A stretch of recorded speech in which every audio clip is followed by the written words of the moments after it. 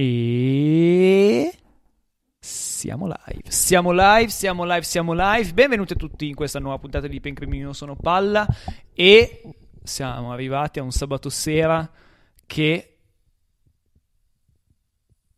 non dimenticherete. No, in, in, verità sì, è un sabato sera qualunque, un sabato sera di lockdown, ma parliamo ancora del vostro caso preferito, della strage di Erba e andiamo avanti con le ricostruzioni. Io non ho idea se la puntata precedente vi sia piaciuta o meno perché avete smesso di commentare, maledetti, e voi invece dovete commentare come i pazzi. Dove potete commentare? In due luoghi specifici. Il miglior luogo per farci sapere se la puntata vi è piaciuta o no è Instagram.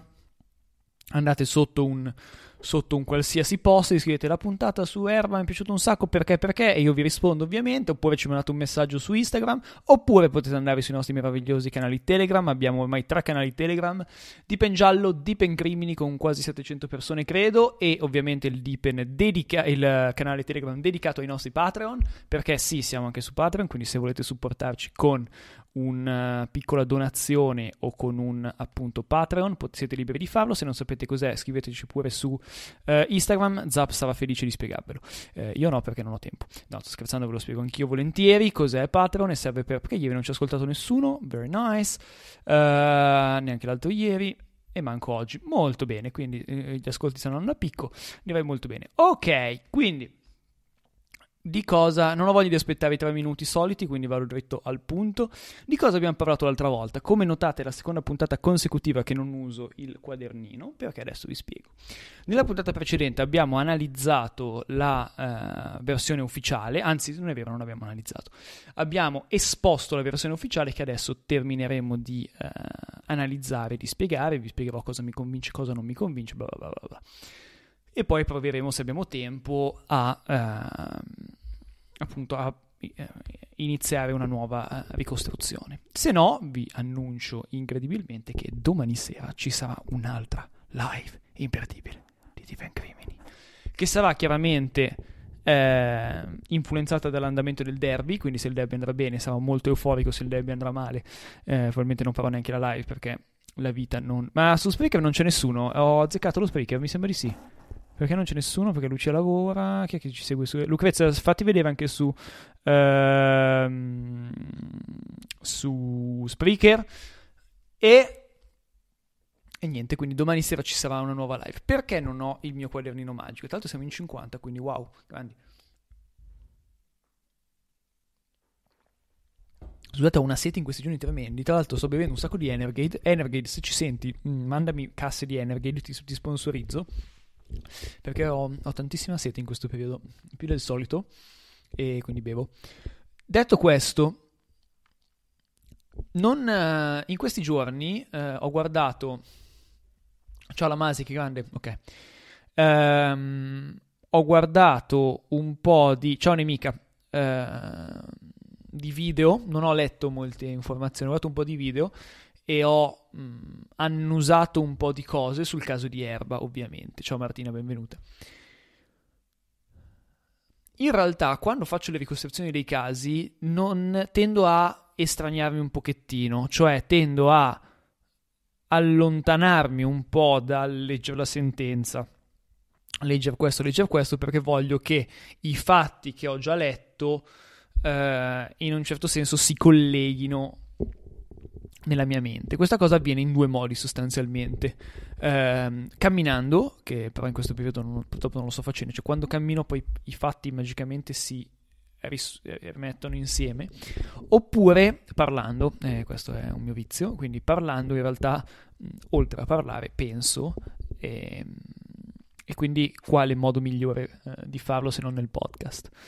Ehm in realtà su internet ho notato, soprattutto nella sezione video di internet, quindi su YouTube, uh, la strage di Erba è molto molto pubblicata e pubblica, cioè ci sono tantissime... Grande Amox è abbonato per due mesi, grandissimo, grazie mille Luca, grazie mille davvero. E um, la sezione di della strage di Erba è molto molto ciao Pietro grande è molto molto ben fornita, quindi non, non, c'è di sicuro bisogno dei miei podcast per eh, farsi un'idea. Quello che mi sembra di aver subodorato è che c'è una uh, tendenza allo scetticismo sulla colpevolezza di Olindo e Rosa piuttosto spiccata. E adesso cerchiamo di capire perché andando ad analizzare la versione ufficiale. La ricostruzione ufficiale anche a me effettivamente puzza di qualcosa che non necessariamente è andato così.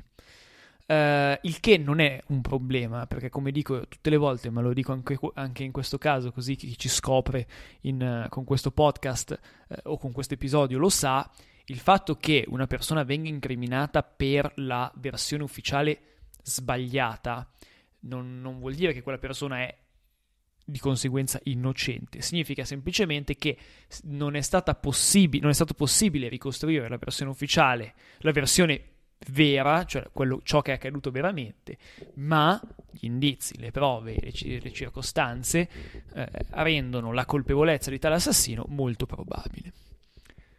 Cos'è che non mi convince della ricostruzione di cui abbiamo parlato settimana scorsa? Ora no, non la ripeto chiaramente perché vi andate a sentire la puntata di settimana scorsa se, se vi interessa.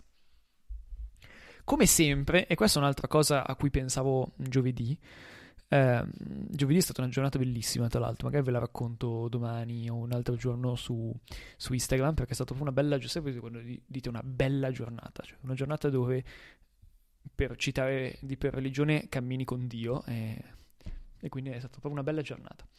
E visto che di solito parliamo sempre delle brutte giornate, no? Eh, questa è un'altra cosa, che raccontiamo sempre agli altri delle brutte giornate e non raccontiamo mai delle belle giornate. Ecco, giovedì per me è stata una bella giornata e quindi magari domani ne parliamo poi in live.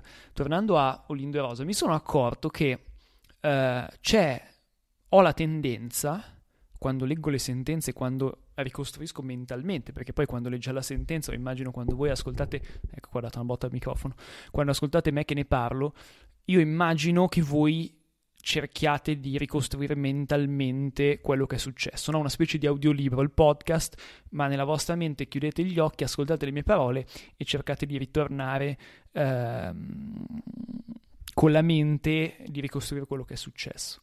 Ovviamente poi se avete visto magari qualche foto dell'appartamento, della scena del crimine, quindi è più facile poi fare mente locale. Eh, come spesso mi accade, ho aperto 27 parentesi ovviamente, eh, come spesso mi accade, mi accorgo che delle ricostruzioni in sé mi convince sempre molto poco quello che succede prima e quello che succede dopo. Eh, io ho molta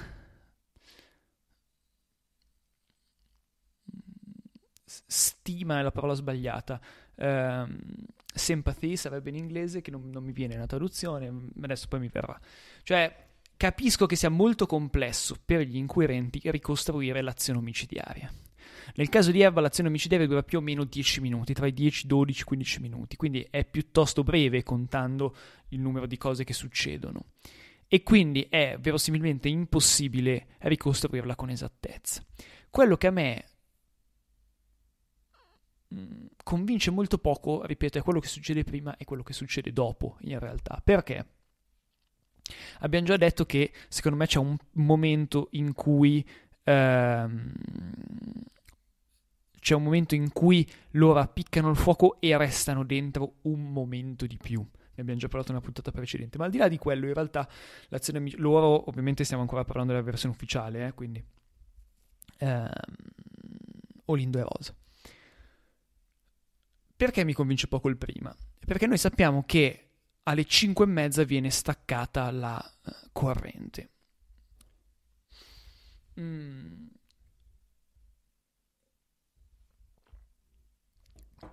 In realtà questo ci sta anche. Mi immagino però dei coniugi che siano pronti, visto che poi ehm, attaccheranno la, i familiari appena attaccavano la famiglia appena entrati in casa.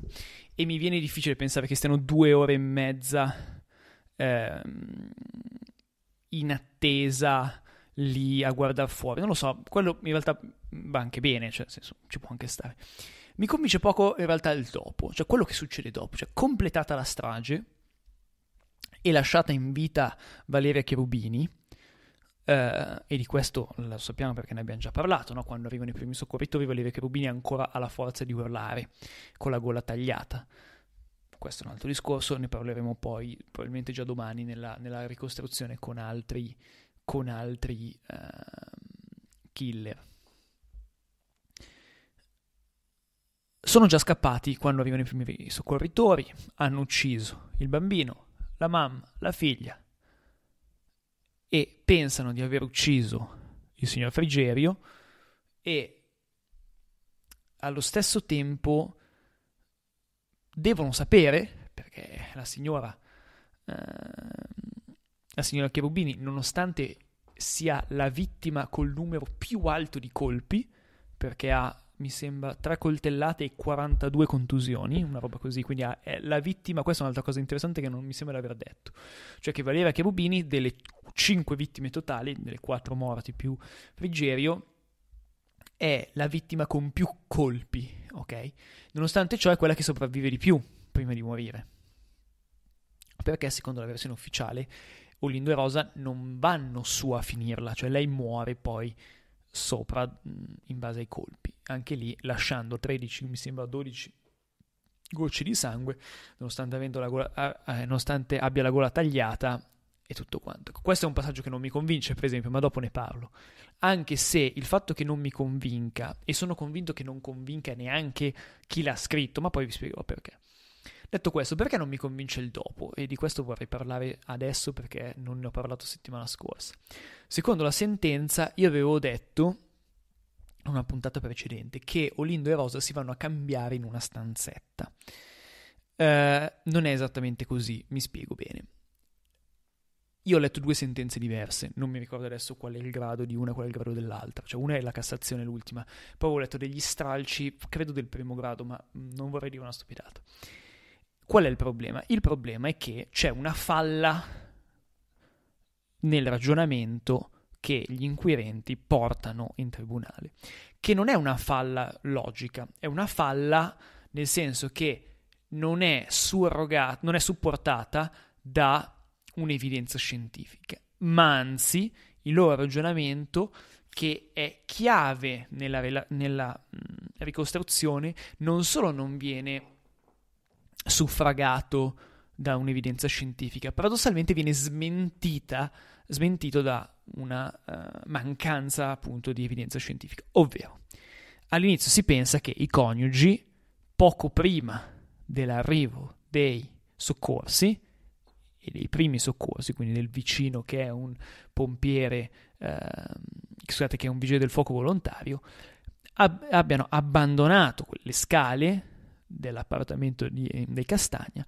per rifugiarsi in casa propria. A quel punto una minima traccia di sangue nell'appartamento di Olinda Rosa, quella sì che sarebbe la prova regina.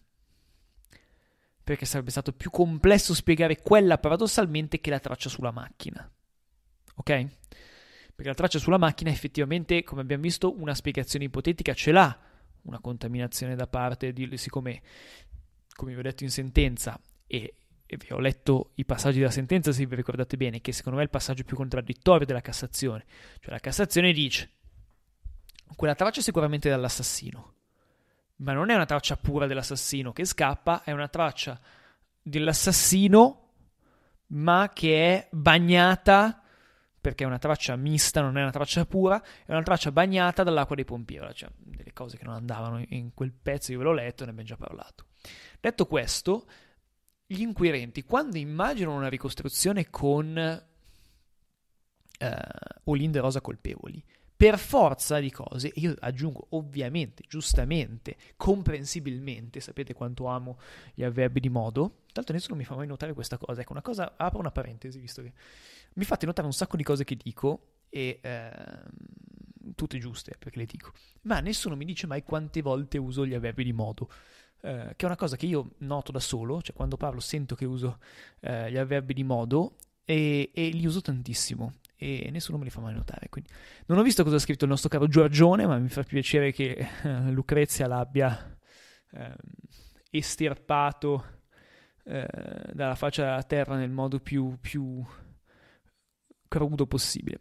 Detto questo, immaginano quindi che, completata la strage, si rifugino nella loro tanto amata uh, casetta. A quel punto devono compiere in velocità, e mi sembra fosse la sentenza di primo grado che stabilisce che hanno più o meno 5 minuti per fare cosa? Togliersi i vestiti, sporchi di sangue. La sentenza dice che sa- la scena è coperta di sangue. Eh, dopo parleremo anche della quantità di acqua che c'è, ma il sangue è così copioso perché alcune ferite sono state così vi- forti, così violente, che c'è sangue anche sul soffitto di Casa Castagna, per esempio, sulle, sulle pareti, ma sul soffitto per dire la violenza dell'aggressione. Quindi è verosimile pensare, ma lo dicono gli inquirenti, non lo dico io e non lo dice ovviamente l'avvocato della difesa, che gli assassini, in questo caso Lindo e Rosa, fossero coperti di sangue. È verosimile pensare quindi che siano tornati in casa e in 5 minuti abbiano, si siano, scusate, cambiati completamente i vestiti, puliti, messi dei vestiti già preparati nuovi, fatto tre sacchetti con dentro vestiti e armi e senza essere notati, perché questo è un altro particolare fondamentale, senza essere notati si sono, sono andati alla SEAT mm, che era parcheggiata fuori e non dentro, quindi in teoria sarebbe stato paradossalmente più facile essere visti, ma vengono, ci sta che in quei momenti possa essere, possano essere sfuggiti. Uh, siano saliti in macchina e poi siano andati verso questo cimitero a scaricare la, eh, appunto questi, questi strasacchi e poi a, fino a Como dove hanno fatto un giro e poi mangiato al McDonald's e tornati indietro. Ecco, questa cosa, che di per sé è anche logica se vogliamo, eh, Giulia, rispondo diciamo un po' in questi, adesso non voglio dare una risposta, so che tutti mi chiedete tu cosa ne pensi, tu cosa ne pensi, poi lo dirò, però non do una risposta definitiva perché sennò poi chiedete il podcast ed è finito così. Um, cosa non mi convince di questa cosa? In realtà nulla. Il ragionamento in sé è perfettamente logico, il problema è che non è supportato da nulla. Non solo non è supportato da nulla, è smentito clamorosamente dalla eh, perizia dei RIS che non trovano mezza traccia di eh, mezza traccia di sangue o di qualsiasi materiale genetico non appartenente ad Olindo Rosa, ovviamente, a casa di Olindo Rosa. E mi sembra che nella perizia dei RIS ci sia scritto una frase a un certo punto che in quel bagno, in quella casa, è come se non fosse mai entrato nessuno se non Olindo Rosa. Questa cosa, questa perizia, non solo non dimostra quello che, sos- quello che sostiene l'accusa, ma dimostra in un certo senso, anzi scagiona in un certo senso la uh, Olinde Rose. Si parla poi, non mi ricordo in che punto, di questa stanzetta, io però non so se esiste o non esiste, dove si sarebbero cambiati questo mezzo, non so se avete presente in qualche condominio c'è una stanzetta eh, con dentro magari due secchi, due stupidità, soprattutto in montagna, anche se non è proprio in montagna perché è sul lago, dove magari c'è dentro una pala per quando nevica, sapete quelle stanzette dei condomini, eh, magari verso le cantine, no? Qualcuno... Ma io so per certo che tutte i, luo- le, i luoghi comuni sono stati analizzati, perché trovare una traccia in quel punto sarebbe stata davvero quella sì la prova regina incontestabile. E quindi per me esiste un problema vero su da dove sono usciti e come sono usciti di scena Olindo e Rosa. Qualcuno su Telegram mi ha offerto uno spunto molto interessante. Qua iniziamo una specie di seconda ricostruzione, anche se eh, in realtà per ampi tratti è uguale alla versione ufficiale, ma parla, qualcuno non mi ricordo chi, mm, dovrei andare a riprendermi il nome, ma c'erano mille milioni di messaggi e francamente non ho tanta voglia di rileggermeli tutti, eh, parla, eh, mi, mi, ha parlato su, su, Telegram di un, secondo appunto loro, di una divisione a un certo punto della, dell'azione omicidiaria tra Olindo e Rosa, ovvero mi dicono, e, e, a me non dispiace come, come ipotesi, cioè mi dicono, Olindo e Rosa compiono la prima parte della strage insieme, appiccano il fuoco, quando c'è il primo fumo, Rosa se ne va perché è asmatica e, den- e torna in casa. Chiaramente questa cosa non risolve minimamente il problema del, del, uh, del, della mancanza di tracce, però spiegherebbe una cosa un po' strana effettivamente. Cioè cosa? Diciamo che Rosa mentre esce incontra Valeria Cherubini. Mm? Ipotizziamolo. Che intanto è scesa perché magari ha visto un po' di fumo, perché magari ha sentito dei rumori, adesso sente il fumo, perché magari insospettita scende, anche magari senza che sia successo qualcosa di particolarmente strano, però vuole dare un'occhiata in quella casa dove comunque ci sono già stati una serie di mh, mm, avvenimenti un po' strani, perché sappiamo che la casa di Raffaella Castagna era una casa comunque frequentata da persone non sempre mm, dei chirichetti.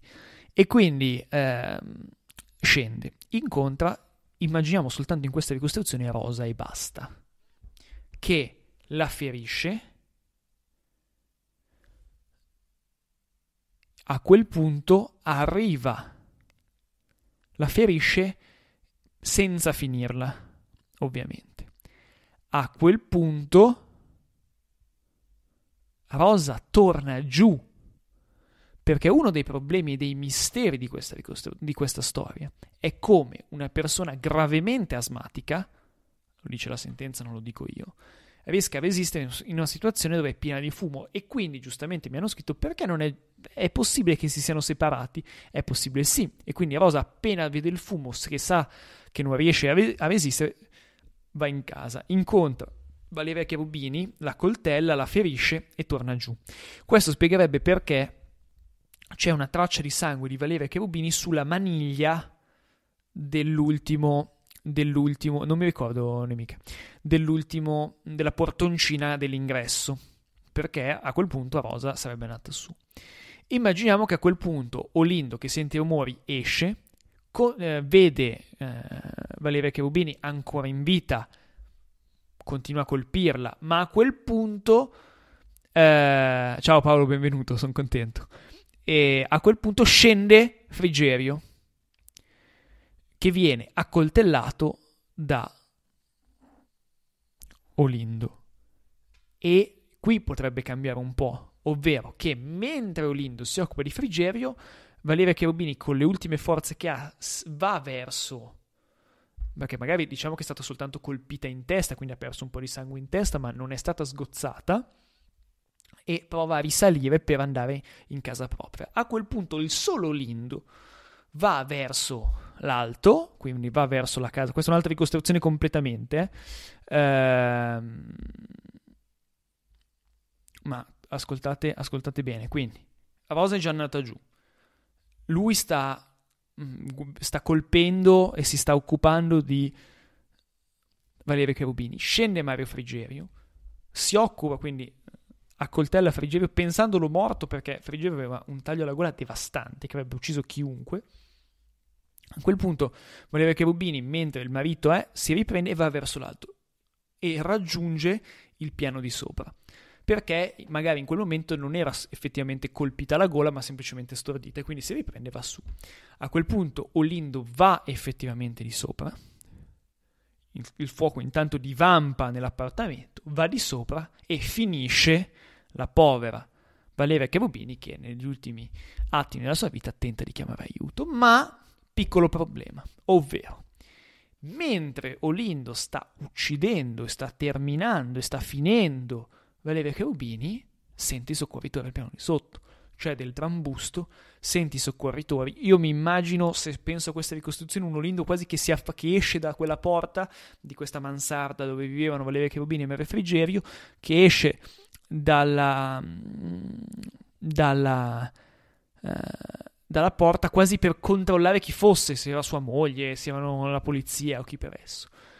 Quando però intuisce che Valeria Cherubini è finita, l'ha uccisa, e stanno portando giù eh, Frigerio, i, i primi due soccorritori, si precipita al piano di sotto, ma capisce che non può andare sotto perché ci sono i soccorritori. Allora a quel punto entra nella casa che è vero che è in fiamme, ma le fiamme non sono così, non sono divampate in maniera pericolosa. Anche questo è un particolare interessante. Ovvero, se voi vedete le foto della scientifica e la ricostruzione di questo incendio, non è un incendio eh, particolarmente grave, ovvero i danni che fa non sono gravi perché non è un incendio che è partito bene, è un incendio però che ha provocato molto fumo. Perché ha provocato molto fumo? Perché evidentemente quello che viene utilizzato, cioè, cioè, scusate, quello che hanno bruciato per iniziare questo incendio è qualcosa che produce molto fumo. Ci sono degli elementi eh, e dei materiali che producono poca fiamma ma molto fumo. E quindi Olindo si e rientra in quella casa ed è lì che lascia le ferite, scusate, che lascia le tracce di sangue da schizzo ehm, di Valeria Cherubini e effettivamente sarebbe potuto scendere dal balconcino perché non è più al terzo piano ma sarebbe al secondo piano, quindi sarebbe un saltino di un paio di metri, due o tre metri che è vero che Olindo pesava 110-120 kg, quello che voleva, però è già più verosimile che lui che si cala dal terzo piano. Quindi potrebbe essere una cosa del genere, poi senza farsi vedere, in qualche modo anche lì, ricordiamo che a dicembre eh, a Erba è buio pesto, quindi scende, è vero che sarebbe dovuto scendere in mezzo alla strada coperto di sangue, no? Che è la cosa che effettivamente mi convince meno e che mi sconquiffera meno della, della situazione. Detto questo, questo è quindi un'altra ipotesi dove loro si separano, dove non è più la... Io sto sudando, ma quanti gradi ci sono in campo? Perché fa sto caldo senza senso? Mi vedete che sudo io bevo.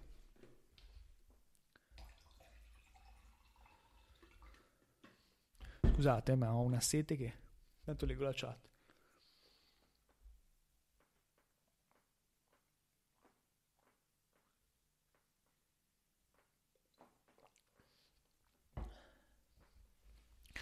Quindi, um, togliti il golf, eh, vi piacerebbe.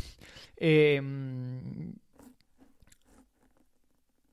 e quindi per me l'uscita di scena, in qualunque delle ipotesi, cioè nell'ipotesi dove i coniugi stanno insieme e lasciano Valeria Cherubini viva, nell'ipotesi dove in realtà si separano, lui esce dal tetto e lei esce dal, dal piano di sotto, che secondo me è l'ipotesi meno probabile dalle due, tra le due, ma è l'ipotesi che mi sembra in realtà più, um, più verosimile, perché spiegherebbe tutte le tracce di sangue e spiegherebbe il problema dell'asma di Rosa, mi convincono poco entrambe le situazioni non tanto per un problema mentale, di cui adesso parliamo, visto che in chat già eh, leggo di problemi mentali, quanto proprio per una questione fisica. Cioè persone che non sono degli atleti, ma nel senso che non hanno una corporatura adatta, fanno una strage del genere in un quarto d'ora e hanno una velocità felina nel uh, non farsi vedere. Poi, come dicevo appunto nel caso di Cecil Hotel uh, su Instagram, dicevo che le coincidenze esistono secondo me, cioè è possibile che delle persone in modo assolutamente sconclusionato riescano tramite una serie di incastri che se uno riprova 100.000 volte non funzionano mai, eh, riescono a davvero per millisecondi a non farsi vedere e a riuscire a farla franca. È possibile anche quello. Sarebbe stato obiettivamente, mh, mm, secondo me è troppo difficile che sia avvenuta una roba del genere. Eh, nei 5 minuti dice qualcuno avrebbero dovuto anche asciugarsi i capelli, visto che il sangue era sul soffitto, sicuramente, assolutamente sì, in quei 5 minuti avrebbero dovuto fare un sacco di cose, che è l'altro problema mio. Cioè, una volta che si rintanano da qualche parte senza essere stati visti, no? Che stavo appunto arrivando qua. Diciamo che è possibile che qualcuno riesca a uscire dalla scena del crimine e non è stato visto, perché poi magari l'attenzione, come dice Nemica, era da qualche altra parte attenzione sul fumo, attenzione sull'incendio, su il primo Mario Frigieri, ok. Ma poi, cioè in 5-6 minuti, secondo la sentenza, riescono a fare un, un, numero incredibile di cose dove serve oltretutto un sangue freddo e non è questione di intelligenza. Io non, dalla prima puntata, non ho mai detto che uh, Rosa e Olindo non possono essere colpevoli per un discorso di intelligenza, ma l'intelligenza non, non serve a nulla. ma il problema sulla famosa domanda che a un certo punto dobbiamo affrontare, cioè due persone del genere sono in grado di fare una roba del genere? La mia risposta è ni, perché non tanto per un discorso intellettivo, quanto per un discorso organizzativo, cioè la quantità di cose che, che devono fare in pochissimo tempo e con una situazione mentale di stress al 100%, perché è ovvio che sono capaci tutti a fare le cose che hanno fatto loro, non è che hanno fatto un'azione che è tecnicamente particolarmente difficile, ma hanno fatto tantissime azioni particolarmente semplici, ehm, particolarmente semplici, scusate, in pochissimo tempo e sotto una pressione terrificante. Questa è la cosa che rende non inverosimile, ma comunque difficile da credere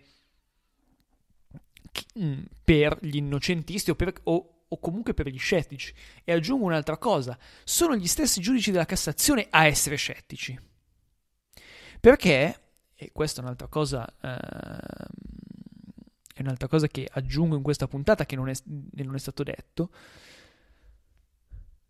i giudici della Cassazione, in un passaggio che leggerò settimana prossima, credo,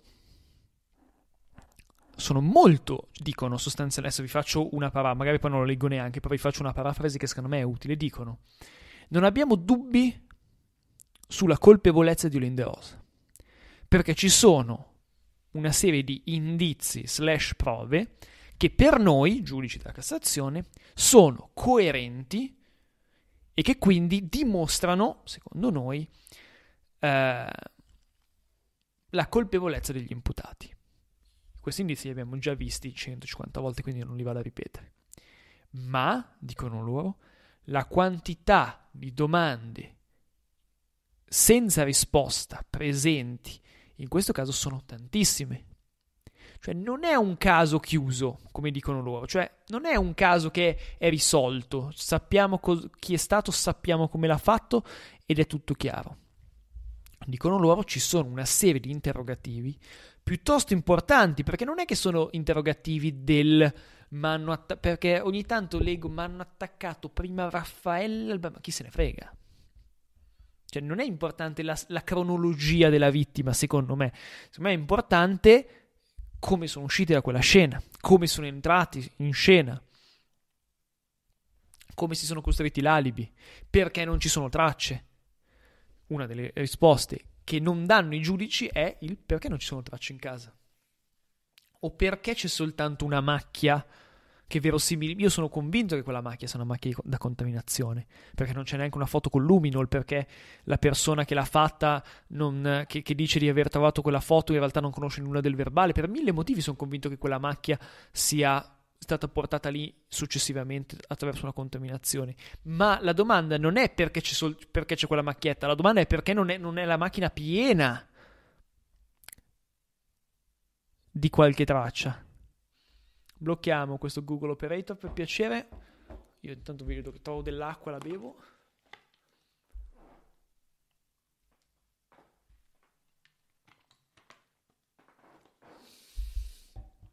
Io mi sento ogni tanto, avete presente quelle persone, quando d'estate studi aperto dici di bere almeno due litri e mezzo d'acqua? Io non so, io sarei il candidato ideale per fare uno spot. Ministero della Sanità. Se per quest'estate volete uno spot sull'importanza del bere, io, io ci sono. Uh, è vero che potrebbe essersi cambiato le scarpe, ma se, cioè, il problema è se lascia una traccia sul battitacco. Oltretutto, io un'altra cosa a cui penso spesso. Uh, il battitacco, non so se avete presente cos'è il battitacco di un'auto, è un luogo in cui io non tocco mai la macchina. Cioè, io che devo entrare in macchina non metto mai il piede sul battitacco. Perché non mi serve se devo entrare in macchina per guidarla. Se devo entrare in macchina per prendere qualcosa che ho dimenticato in macchina o per controllare qualcosa nella macchina, allora posso mettere il piede sul battitacco. Ma se ho qual- e infatti infatti le sentenze non spiegano come arriva quella traccia di sangue, perché all'inizio Olindo che secondo me non ha idea di cosa sta parlando e che cap- lì sì non capisce a livello intellettivo qual è il problema, dice che gli è caduto dai capelli. Ora, è evidente che e, in, e nella sentenza di primo grado c'è scritto che no, è caduta una goccina nei capelli. Quando la difesa fa notare una serie di cose che non può essere andata così, allora in secondo grado si dice no, ce l'aveva sotto la scarpa. Ma se ce l'aveva sotto la scarpa è impossibile che non ci sia sui pedali. Allora, quindi ci sono degli interrogativi che la sentenza non spiega. Poi, se come i giudici dicono, noi riteniamo che tutto invece l'apparato probatorio, nonostante non spieghi tutto e nonostante sia, questo lo aggiungo io, secondo me largamente incompleto, perché con una serie di prove, se tu le, le, certifichi come buone, poi questo ognuno, io l'ho detto dall'inizio, no? ci sono delle prove, le prove sono queste, se vi piacciono sono colpevoli, se non vi piacciono sono innocenti, secondo voi. Ma con tutte, se le consideri buone, cioè se tu ritieni che Frigevio abbia detto la verità, le confessioni siano veritiere, il movente sia certificato e la traccia di sangue sia effettivamente dell'assassino, cioè se tu prendi queste quattro prove, lasciamo stare la Bibbia per un attimo, e tu le consideri veritiere, è impossibile che tu non riesca a produrre una ricostruzione che sia coerente e armonica. E ripeto, non tanto nella cronologia delle vittime, non tanto in è salito alle, sono saliti alle, sono usciti alle, hanno fatto questo, questo e questo, ma almeno a grandi linee, che è quello che facciamo qua su, con Deepen, su Deepen, ma almeno a grandi linee capire come si è svolta l'azione omicidiaria è fondamentale. Perché non sapere da dove sono usciti, capite che è un problema non sapere dove sono andate a cambiarsi. Perché nella sentenza, nell'ultima, non c'è scritto dove sono andate a cambiarsi. Cioè viene proprio glissato clamorosamente su dove, viene, su dove avviene questo cambio e questa produzione dei sacchi con, ehm, con il materiale usato nella strage. Ogni tanto io leggo su dei forum, su qualche, su, sui commenti su YouTube, che io mentre mi guardo i video spulcio, ehm, pers- due persone così non sono in grado di prevedere, cioè di immaginare. Secondo me invece sono in grado di farlo, perché non sono così stupidi. Secondo me sono in grado di preparare dei sacchi da poi utilizzare. Il problema è che secondo me, ma non sarò in grado io di... Ehm, di non lasciare nessun tipo di traccia. Poi è chiaro che esiste eh,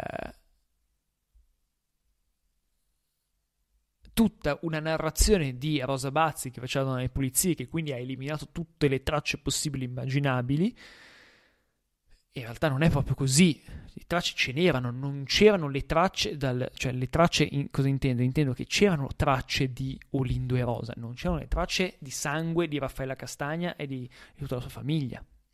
Anche qui, e con questo poi oggi volevo chiudere perché questi sono i miei dubbi sulla sentenza ufficiale.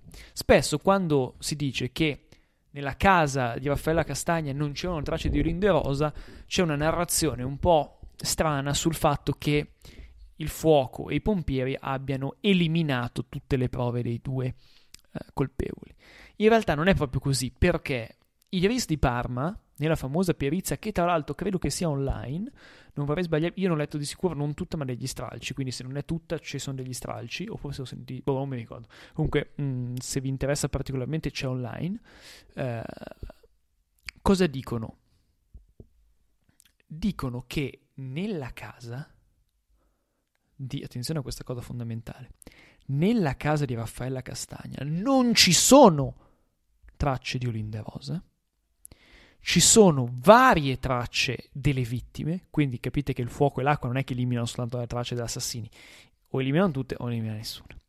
E ci sono tutta una serie, mi sembra siano quattro, tracce di persone sconosciute. Ora, è evidente che in una casa, quindi questo non vuol dire che ci sono quattro omicidi, eh, quattro killer sconosciuti, perché è evidente che in una casa più pre-Covid, quindi più o meno vissuta, è normale che se una persona venisse in casa mia ci sarebbero delle tracce di persone sconosciute, che magari sono conosciute a me, ma sono sconosciute alle indagini.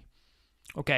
È evidente che possano esserci delle tracce sconosciute. Quello che è interessante è che esistono delle tracce di Ehm, esistono varie tracce, cioè non è che hanno cancellato, perché se un conto è, dico, entro in una casa, soggetta a un incendio e poi a uno spegnimento di questo incendio, non ci sono più tracce, perché il fuoco, l'acqua, i pompieri, il via vai delle persone, tutto qua, il fumo, hanno eliminato tutte le, prove, tutte le tracce. Allora questo è un conto.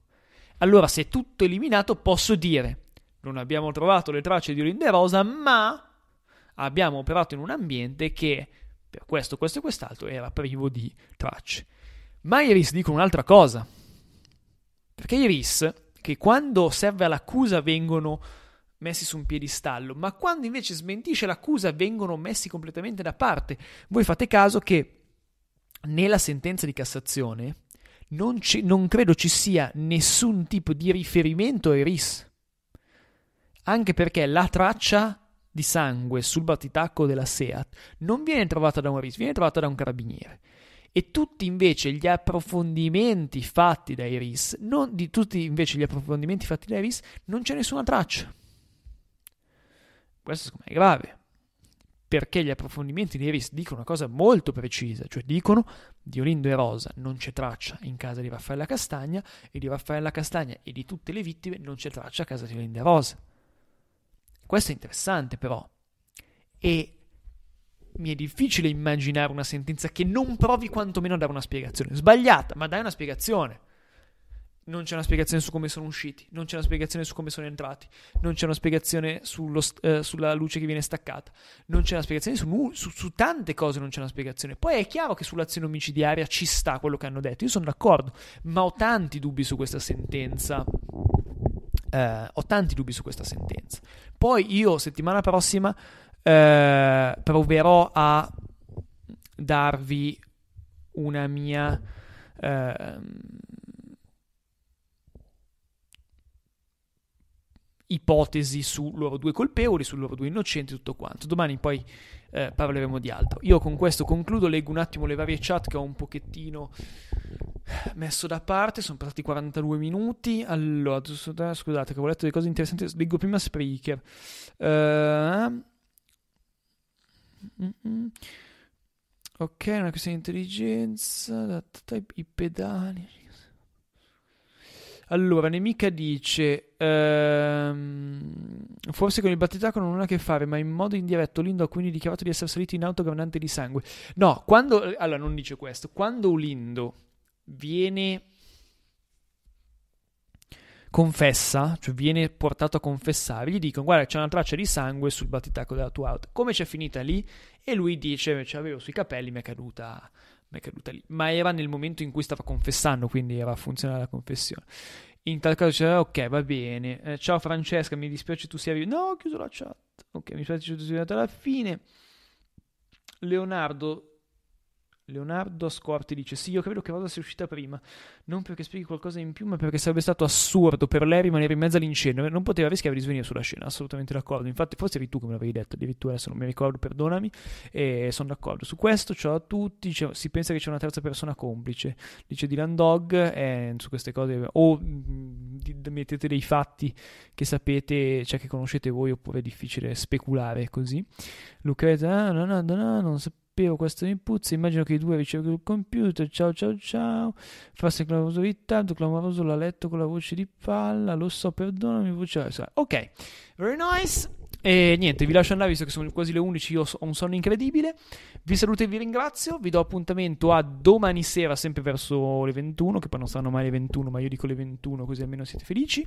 E buonanotte a tutti e fatemi sapere cosa ne pensate di questa puntata su Telegram e su Instagram. Ciao a tutti.